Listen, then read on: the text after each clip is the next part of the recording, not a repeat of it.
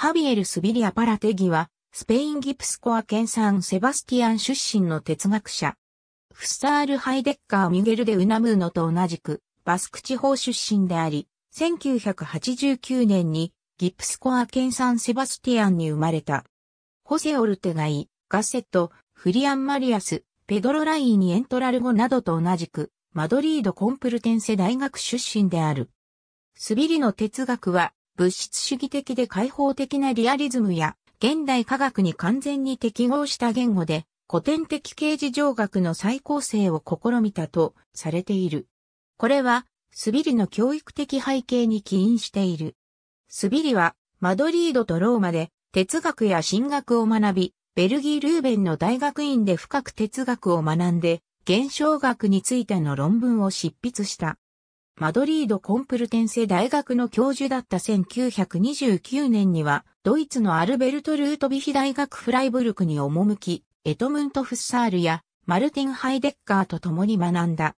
1930年にはベルリンに移り、物理学、文献学、生物学を学んだ。ベルリンではハルナックハウスに招待され、バイマル共和制において学術活動を展開していた偉大な人物たちと交流した。アルバート・アインシュタイン、マックス・プランク、ベルナー・イエーガー、アーウィン・シュレーディンガーなどである。マドリード市民墓地にあるスビリの墓石1936年にスペインでスペイン内戦が勃発すると、スビリはフランス・パリに引っ越した。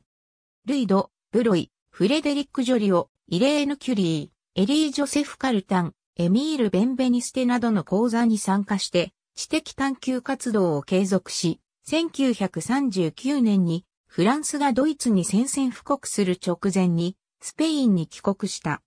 1942年にはスペインにおける学術的立場から正式に退いたため、スビリの哲学はスペインやラテンアメリカ諸国以外ではほとんど知られていない。スビリのこの決断には、フランコ体制下のスペインにおいては、学問的自由がなかったことが関係している。ただし家族や友人の支援があったことから、スビリは学術的な仕事を継続することができた。スペイン第二共和制下のスペインにおいて、スビリは、ホセ・ベンガーミンが編集長を務めるクルス・イラジャシア・オルテガ・イガセットが編集長を務めるレビスタ・デ・オクシデンテ氏などに寄稿した。しかしマドリード・コンプルテンセ大学の教授職を退いた後、権威ある査読雑誌にスビリの文章が掲載されることはほとんどなかった。1946年10月2日には、アメリカ合衆国のプリンストン大学を訪れ、フランス語で、 The Real Mathematics, A Philosophical Problem という題名の講義を行ったことが記録されている。スビリは民主化後の1983年9月21日に死去し、マドリードのマドリード市民墓地に埋葬された。スビリは一連の著作群や研究論文を発表しており、当初はスペインの学術界に受け入れられなかったが、これはスペインがフランコ体制下であったことによって説明される。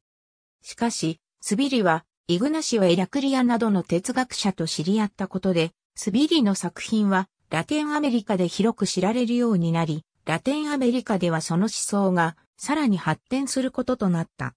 スビリの生涯と哲学の重要性については、近年になってスペインの学術界に認識され始めた。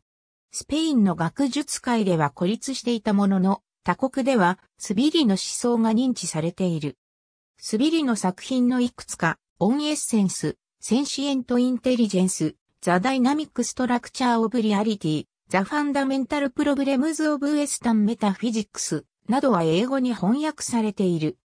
1979年、スビリは、ネイチャー、ヒストリー、ゴッドとオンエッセンスの著作によって、ドイツ政府からドイツ連邦共和国功労勲章を授与された。